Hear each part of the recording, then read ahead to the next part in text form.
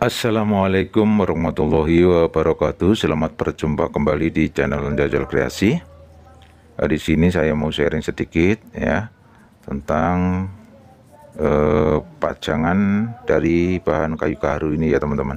Dan ini ada beberapa yang sudah saya kerjakan. Ini hasilnya karena ini ya ini pesanan orang semua. Jadi ini kayu karu ya kalau kualitasnya sih nggak begitu bagus ya. Sangat rapuh ya teman-teman. Nah ini udah lumayan. Ini bentuk dari uh, bambu unik ya. Kita bentuk seperti itu karena bahannya sangat kecil pendek ya. Mau nggak mau kita bikin seperti ini ya sekiranya unik dan bisa menambah buat koleksi ya teman-teman. Nah seperti itu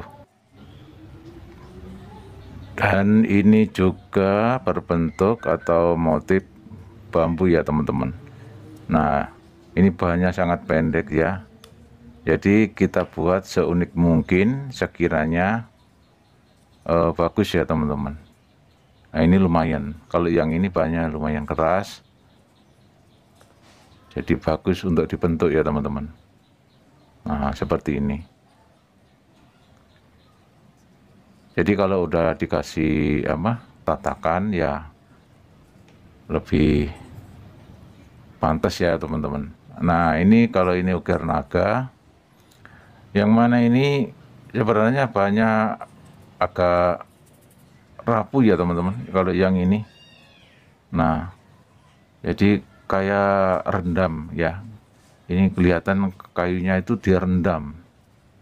Sebenarnya ya bagus kalau udah bahan jadi diren, mau direndam ke atau gimana ya bagus. Tapi kalau sebelum diukur terus direndam itu resikonya ya dalam pengukiran itu sangat susah ya teman-teman. Karena kadang lengket. Nah seperti itu. Nah ini juga bentuk naga. Ini kayu rendaman juga. Nah kalau udah berbentuk seperti ini mau direndam juga bagus teman-teman direndam ya sekiranya baunya sama ya. Nah kalau belum dibentuk seperti ini terus dilakukan perendaman ya itu resikonya ya mau nggak mau ya repot ya teman-teman. Agak susah. Ini kayu kalau udah direndam dalam pengerjaan itu sangat susah lengket. Nah resikonya ya eh, grinder atau mata ber yang kita pakai itu cepat kotor. Jadi bentar-bentar kita harus dibersihkan seperti ini. Nah ini hasilnya seperti ini. Jadi ini udah siap dikirim ke pelanggan ya teman-teman. Seperti itu. Dan mudah-mudahan dalam pengiriman bahan-bahan berikutnya dengan kualitas yang bagus tanpa direndam terlebih dahulu agar mempermudah dalam pengukiran.